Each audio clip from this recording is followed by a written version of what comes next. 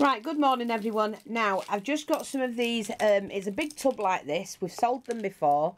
This one's mixed beads and jewellery tub. These are £10 each, but we've also done some smaller ones.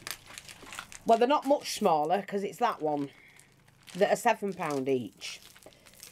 So they are absolutely filled, as you can see, with all kinds of beads, jewellery, you know, lots of nice bits and pieces.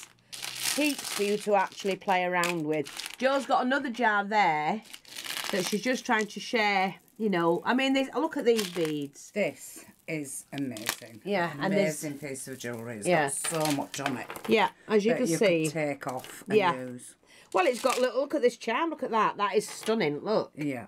See that? We've got You- some little And chain, beads. some Buddha beads, yeah. So we've got quite a few of those in there. Glass hearts. I mean, a lot of it is glass or stone Yeah. or, uh, you know, genuine, um, We've got some hearts yeah. in there. Absolutely gorgeous. little flowers. Charms.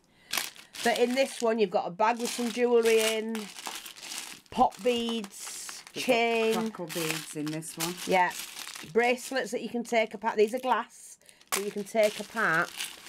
It's just tons and tons and tons of things.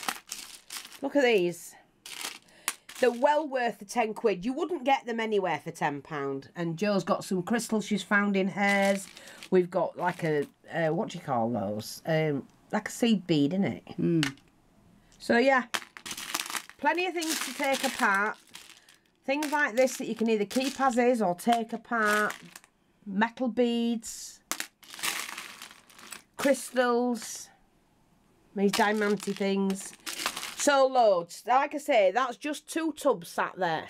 But so run along, grab them while you can. The seven pound jars are just the same. They're absolutely stashed with jewellery and beads of all descriptions, and you wouldn't get them anywhere else.